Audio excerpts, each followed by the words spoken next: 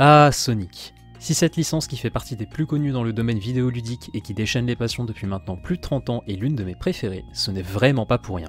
Avec son caractère bien trempé et son look offensif, le personnage de Sonic aura réussi dès son apparition à imposer sa touche et à conquérir le cœur de nombreux joueurs, le mien y compris. Et même si tous les jeux Sonic n'ont pas forcément été tous bons, j'ai toujours réussi à apprécier chacun d'entre eux grâce à leur musique, qui à part dans de rares cas sont des bangers sans nom. Depuis 1991, et en plus des jeux de plateforme, Sonic aura pu également proposer aux joueurs diverses expériences avec par exemple des jeux de course, mais aussi bien d'autres genres à la manière de son grand rival de toujours, Mario. Cependant, le chemin aura été long avant que Sonic ne fasse son apparition pour devenir ensuite la légendaire mascotte de Sega. Alors ce que je vous propose, c'est de revenir ensemble sur les origines de cette saga, en commençant par la création de la célèbre société Nippon, à l'origine de la naissance de notre cher hérisson bleu.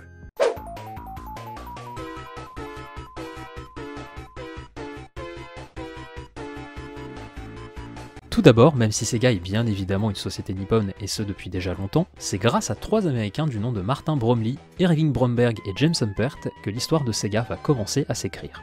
Tout commence ainsi dans les années 40 lorsque Martin et son père Irving s'installent à Honolulu, capitale de l'État d'Hawaï. Rejoints un peu plus tard par James, ils vont alors fonder leur propre société, Standard Games. Entrepreneur dans l'âme, il profite ainsi de la présence des troupes de l'armée américaine sur place pour divertir ces derniers avec des jukebox ou encore des machines à sous. Et oui, forcément, on est encore bien loin du jeu vidéo à cette époque. Cependant, il faudra attendre de nombreuses années avant que Sega naisse véritablement, soit au moment où Standard Games déménagera du côté de Tokyo. Avec ce déménagement au Japon et afin d'être le meilleur concurrent sur le marché des machines de divertissement, Standard Games va ainsi fusionner avec Rosen Enterprise, une société de photomatons fondée par David Rosen, un autre américain installé au Japon. Cette fusion va ainsi donner vie à une nouvelle entité nommée Service Games, ce qui, abrégé à la japonaise, donne Sega. Et là ça y est, grâce à cette entité nouvellement créée, Sega va ainsi devenir un véritable pionnier des machines de jeu en sortant à la fin des années 60 des bornes d'arcade comme Periscope qui connaîtront un grand succès. Le business de Sega dans le domaine de l'arcade va ainsi prospérer jusqu'au milieu des années 80 permettant à la société de s'étendre au-delà du Japon et c'est d'ailleurs en 1975 que la firme va adopter son fameux logo qui restera inchangé par la suite. Parmi les hits de l'arcade édités et ou développés par Sega, on y trouve par exemple Frogger, un jeu d'adresse qui aura un vif succès, au point même de rivaliser avec des monstres comme Pac-Man ou Donkey Kong dans certaines salles, mais aussi d'autres qui sont de véritables performances techniques pour l'époque, comme Zaxxon, le premier jeu de tir en vue isométrique. En 1983, année importante dans l'histoire du jeu vidéo, Sega sort la SG-1000, sa toute première console de salon en même temps que la Famicom de Nintendo, la version japonaise de la NES. Bien sûr, si je dis que 1983 est une année importante, c'est aussi parce que c'est durant cette même année qu'a eu lieu le fameux crack du jeu vidéo, un événement qui a provoqué une violente crise en Occident et qui a marqué un tournant majeur puisque les constructeurs américains se sont alors désengagés d'un secteur perçu comme étant sinistré, mais dans lequel les Japonais y sont encore confiants avec la perspective des consoles de salon. Pour en revenir à Sega, 1983 marque également la fin de l'ère Rosen au sein de la société puisque ce dernier va laisser sa place à un japonais du nom de Hayao Nakayama. Et avec lui, l'objectif sera très clair. Sega doit avoir une mascotte afin de rivaliser face à Nintendo. Ce ne sera pas chose simple, mais dans tous les cas, la guerre entre les deux sociétés commence à partir de là. Mais avant de revenir à cette histoire de mascotte, le moment est venu de parler de l'homme que beaucoup considèrent comme étant le papa de Sonic et qui va jouer un rôle important dans cette histoire, je parle bien entendu de Yuji Naka. On a ici affaire à un véritable passionné du jeu vidéo qui, dès le début de ses études dans les années 80, souhaitait tout faire pour percer dans ce domaine. Fasciné par la technologie et doué pour la programmation, Yuji participe en 1983 à un concours national organisé par la toute jeune société Enix. A savoir d'ailleurs qu'en 2003, cette même société fusionnera avec Squaresoft pour former le groupe Square Enix. Pour ce concours, Yuji se lance ainsi dans la conception d'un ambitieux projet de jeu de tir en 3D. Mais malgré les jours et nuits sacrifiés pour donner vie à son projet, Yuji voit beaucoup trop grand et ne parvient pas à terminer son titre dans les temps. Cet échec ne le décourage pas pour autant et il postulera ensuite auprès de plusieurs éditeurs. Sur sa liste, on retrouve en premier choix Namco, qui à l'époque rayonne sur le marché de l'arcade grâce notamment à Pac-Man. Hélas, Yuji ne sera pas accepté et devra se rabattre sur d'autres alternatives, moins cotées mais plus accessibles, et finalement c'est auprès de Sega qu'il s'engagera en 1984 en tant que programmeur assistant. Assigné à la cellule de recherche et développement, Yuji va alors profiter d'une occasion afin de se faire remarquer dès ses débuts au sein de la firme d'Aneda. A ce moment-là, Sega cherche à concevoir de nouveaux titres pour sa SG-1000, et Yuji se voit confier une mission plutôt particulière, produire un jeu de drague pour les filles. Oui oui. Et Yuji s'en sort très bien, puisque le prototype qu'il réalisera convaincra ses supérieurs et le jeu sera finalement commercialisé. Bon, avec du retard cela dit, puisque notre jeune programmeur perfectionniste dépasse les délais impartis pour le développement, faute d'avoir voulu là encore en faire trop.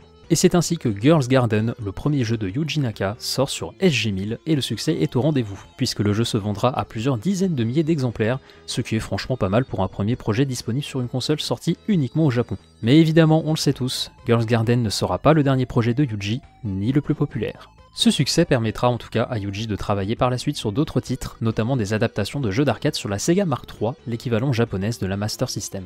On arrive alors en 1985 à une période où Sega est toujours reconnu comme un monstre des jeux d'arcade. C'est cependant sur le marché des consoles de salon que les choses sont plus compliquées, et lorsque la Master System sort, Nintendo de son côté jouit de la popularité de sa 8 bits, qui est la NES, sortie deux ans auparavant et dont les ventes explosent partout dans le monde, grâce notamment à un jeu phénomène, Super Mario Bros. Et mine de rien, ce jour a profondément modifié les plans de Sega concernant la création de sa mascotte voulue par Monsieur Nakayama. Et justement, c'est un jeu dont le développement a commencé plusieurs mois avant la sortie de Super Mario Bros qui va subir de gros changements. Et le jeu en question, le voici, Alex Kidd in Miracle World. Ce jeu qui devait être un action RPG va être complètement revu suite au succès phénoménal de Super Mario Bros. Exit le côté RPG, Alex Kidd sera finalement le héros d'un jeu de plateforme qui sortira sur Master System en 1986. Le premier personnage chargé de porter les couleurs de Sega naît ainsi, et malgré la forte influence directe du hit de la Nintendo qui est facilement visible, Alex Kidd in Miracle World reste un jeu bien sympathique qui diffère bien de Mario sur de nombreux points.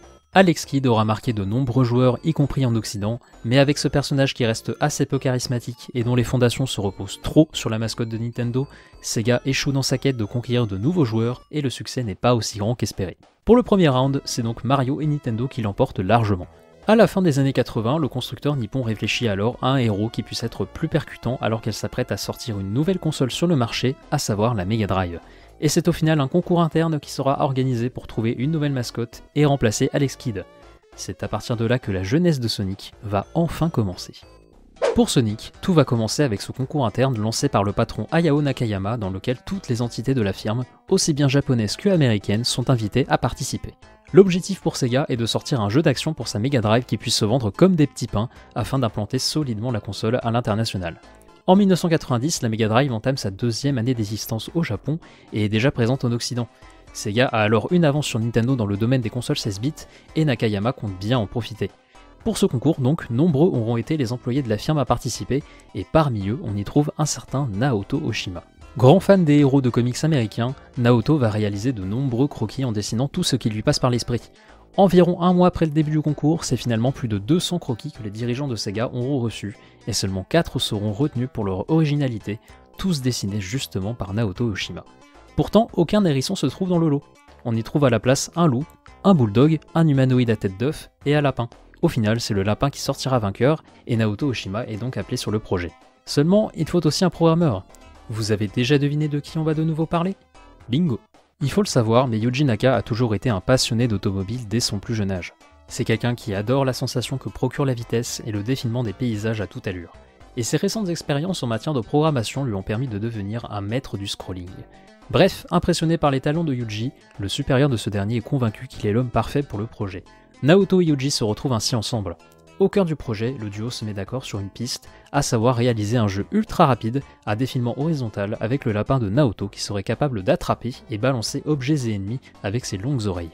Hélas, les premiers problèmes arrivent aussitôt. En effet, associer la vitesse avec un lapin n'est pas évident et le personnage se montre très difficile à programmer. Yoji finit par trouver le personnage inadapté au concept qu'il souhaite créer.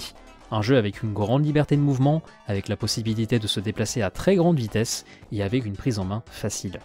À ce moment-là, le projet se retrouve dans une impasse. Naoto et Yuji sont alors rejoints par un troisième homme, Hirokazu Yasuhara. Et là, le triumvirat responsable de la naissance de Sonic est formé.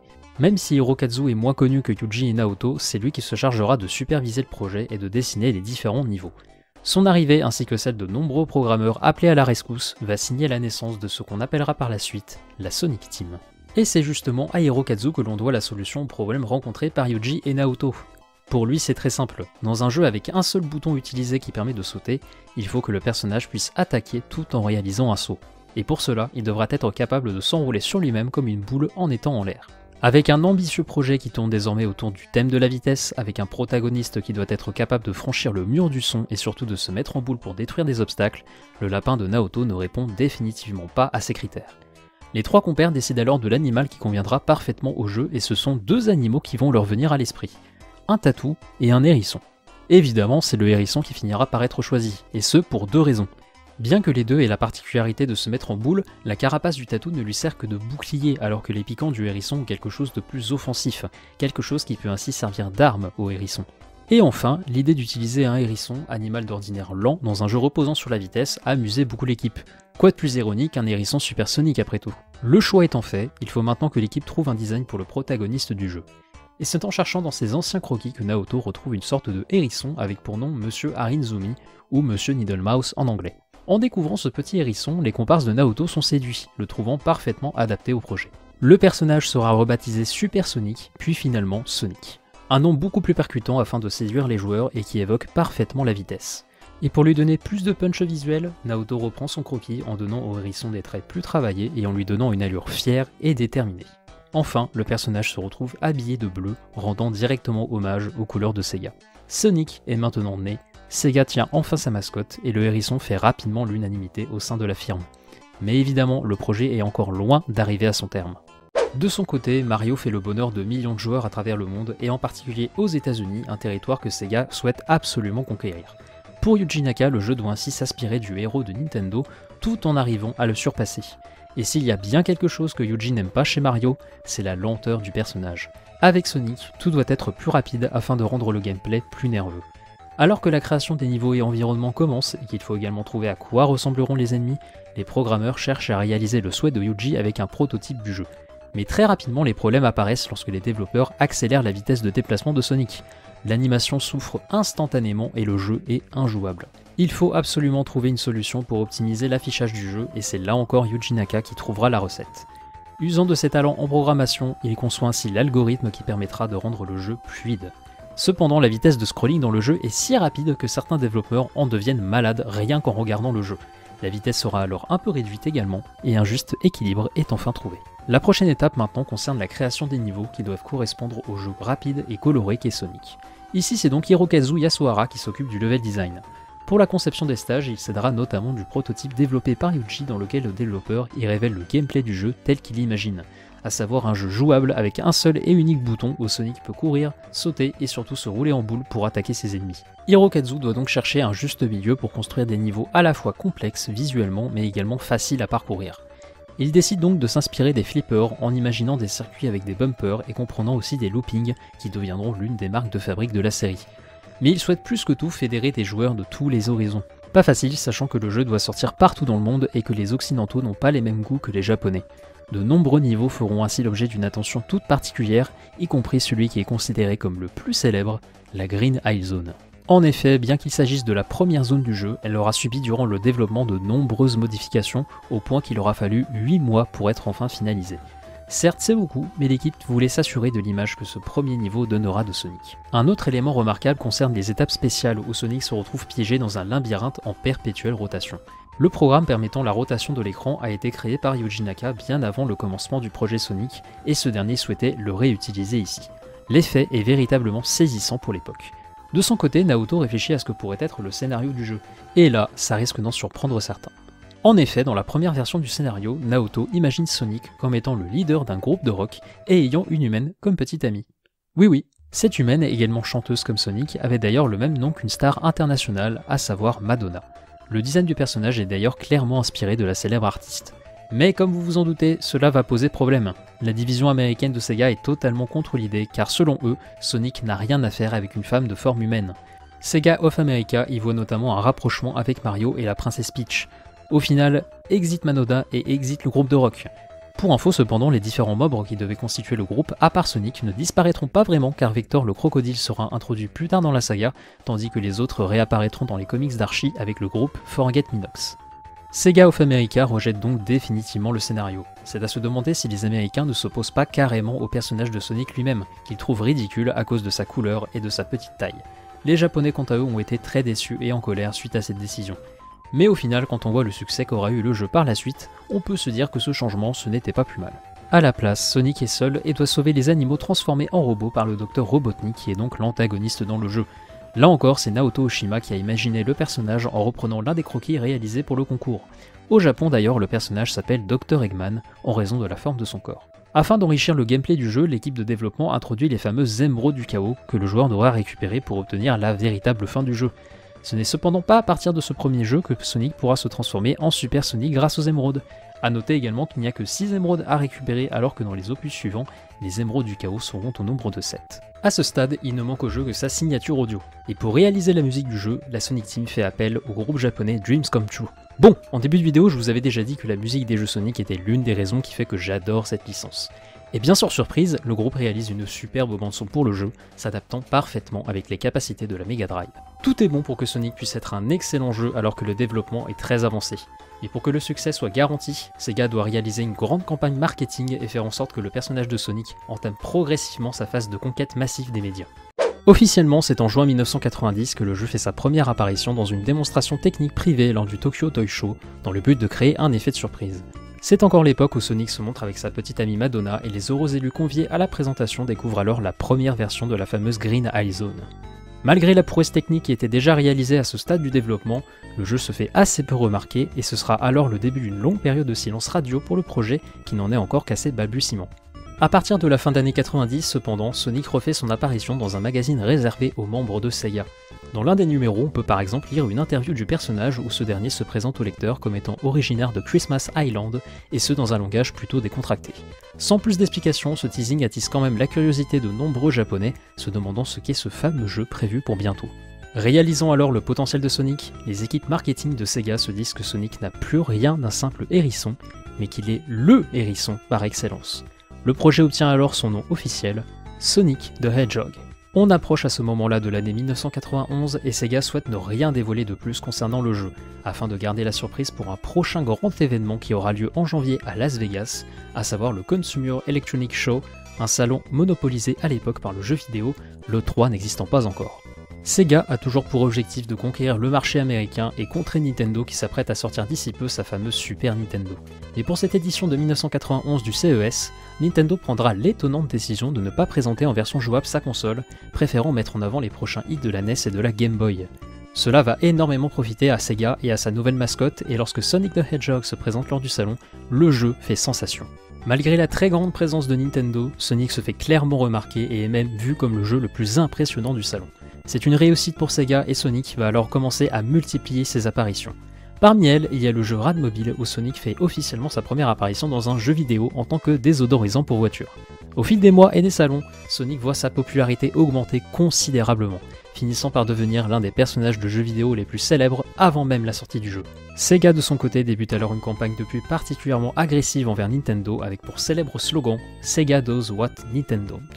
Les publicités pour Sonic vont également inonder les écrans de télévision partout dans le monde, mettant en valeur la vitesse du hérisson ainsi que le côté cool du personnage. Pour assurer un succès énormissime à Sonic, la division américaine de Sega proposera carrément de vendre le jeu avec la Mega Drive.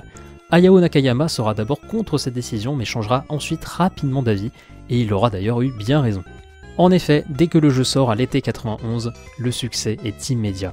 Grâce à cette opération, les ventes de la Mega Drive explosent et Sega finit par s'imposer largement sur le territoire américain, mais aussi partout ailleurs où Nintendo accusait du retard, notamment en Europe où le seul opposant à Sonic est Super Mario Bros 3, un jeu certes exceptionnel mais inférieur techniquement. Au final, Sonic the Hedgehog se vendra à plusieurs millions d'exemplaires et recevra d'excellentes notes de toute la presse à travers le monde, et l'accueil des joueurs pour Sonic est dithyrambique. Présent absolument partout, Sonic finit par devenir une icône pour la jeunesse, et Sega devient leader au niveau des ventes de consoles aux États-Unis. Plus rien ne peut désormais résister à la tornade bleue.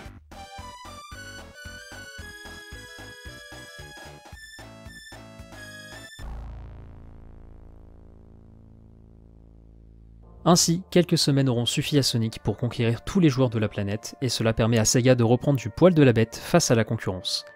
Mission réussie d'une part pour Nakayama dans sa volonté de créer une mascotte pour la firme, mais aussi surtout pour les trois hommes à l'origine du projet, Yuji, Naoto et Hirokazu. Le petit hérisson dessiné par Naoto est devenu maintenant une immense star, aidé par la campagne marketing agressive et réussie menée par Sega, auquel s'ajoute la qualité indéniable du titre dans lequel Yuji aura usé de tout son talent pour rendre le jeu absolument superbe, de même pour Hirokazu qui aura créé des décors pour le jeu absolument iconiques, original et sublime. Les trois ont pu avoir l'occasion de se féliciter, fiers d'avoir donné naissance à un personnage qui passionne les foules dans le monde entier. Le coup d'essai aura finalement été un coup de maître. Mais comme on le sait, ce n'est que le début d'une longue épopée pour notre cher hérisson bleu. Je vous remercie sincèrement d'avoir suivi ce Drakecast jusqu'au bout. J'espère que ce nouveau format qui change du contenu de d'habitude vous aura plu, et je vous invite dès maintenant à laisser votre avis en commentaire, ce qui me permettra de savoir si faire d'autres vidéos de ce type à l'avenir vous intéresserait également. Tout conseil de votre part pour améliorer le format est aussi le bienvenu. Enfin, si jamais vous souhaitez me voir en live sur Twitch, je vous invite à aller me follow via le lien dans la description. Merci encore à vous d'avoir suivi, et sur ce je vous dis à la prochaine, peace